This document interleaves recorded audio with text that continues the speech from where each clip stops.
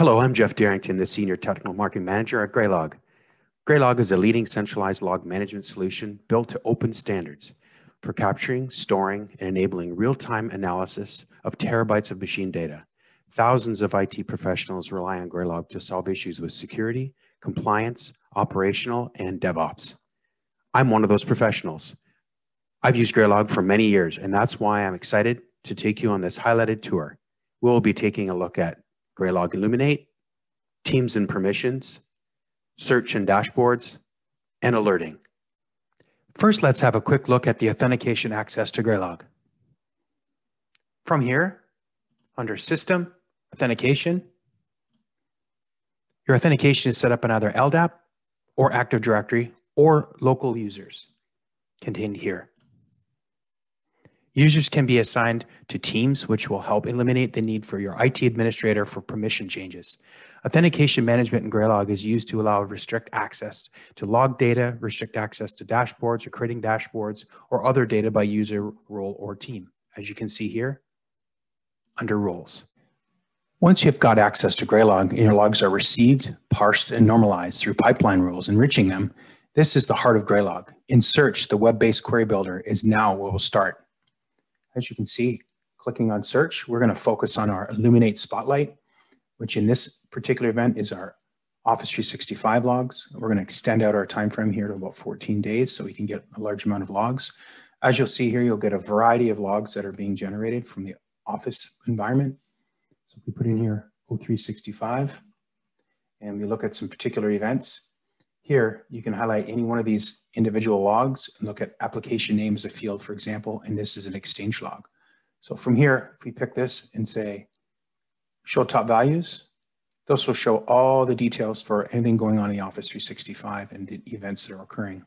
If you wanted to modify this chart or add to it, we could create a duplicate.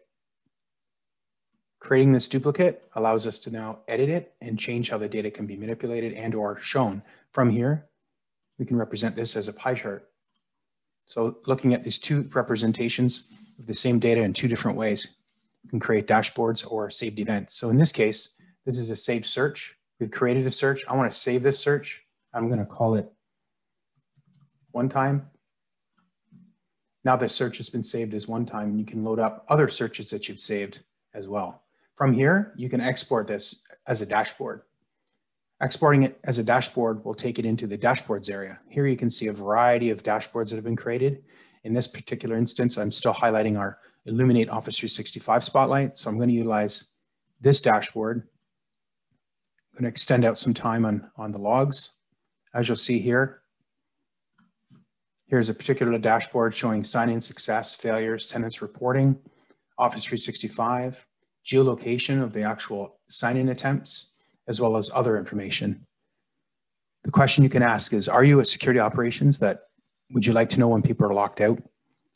Are users logging in from a country that you don't operate in? Are you an IT manager and needing to watch change control in your servers and infrastructure? Or are you a software developer monitoring real-time application performance on your latest code spin? You could be an IT director requiring metrics on all of the above information I just mentioned.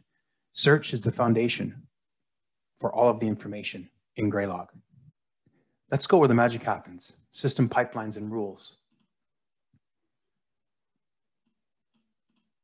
Here you'll see a, a, long list of individual pipeline rules and pipelines. In these individual ones, you'll see different stages for which you can execute. So this particular one here, enrichment, we've got three different stages with some additional rules in them. Within each rule, this is where your parser is actually parsing the raw logs and normalizing the logs. Once you're capturing these logs, what do you do with them? You can view them, you can set up dashboards, but one crucial component is alerts. This is where you can create event definitions so that you can notify teams or individuals or processes on events that might occur, which create, are created with conditions, modifying fields, and creating notifications. An example here for PagerDuty, Slack notifications, script notifications, email notifications, HTTP notifications, and legacy alarm callbacks. The system menu is where all the configuration happens to transform your log data. This concludes our brief tour of Graylog. These are just a few highlights of Graylog. If you'd like to see a full demo, including full parameterized search templates, creating correlated alerts, archiving, and audit logs, please visit graylog.org and register for a 30-minute demo with live Q&A. Happy logging with Graylog.